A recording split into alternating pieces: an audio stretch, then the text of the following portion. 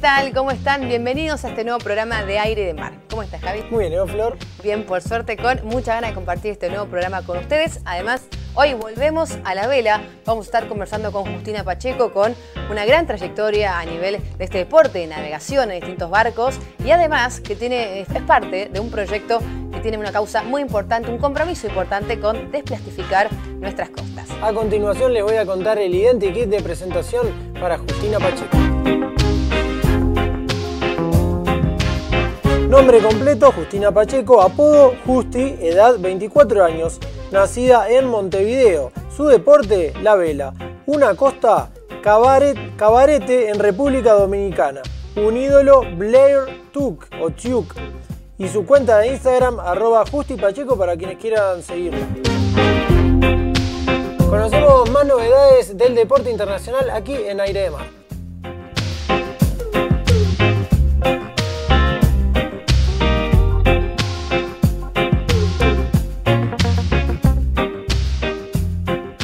Seguimos teniendo representación celeste en el mundo. El longboarder uruguayo Julián Schweizer, medalla de plata en los Panamericanos de Lima 2019, volvió a conseguir un podio internacional. Fue en el Festival Península Longboard and Film que se disputó el pasado fin de semana en 3Ms, Ensenada, en Baja California, donde Julián logró vencer a varios de los mejores del mundo para quedarse con la segunda posición. El uruguayo logró hacer la mejor ola de la final con 7-17 puntos, pero no pudo alcanzar la sumatoria para superar a Brandon White, quien se quedó con el primer puesto.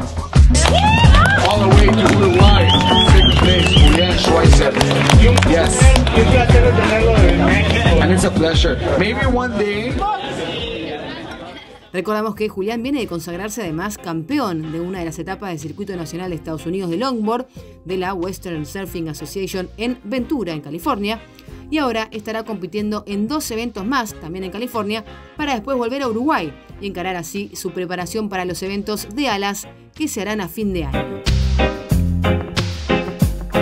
Ahora vamos a una breve pausa y a continuación ya viene Floppy conversando con Justina Pacheco aquí en el estudio de Más Televisión. Ya regresamos.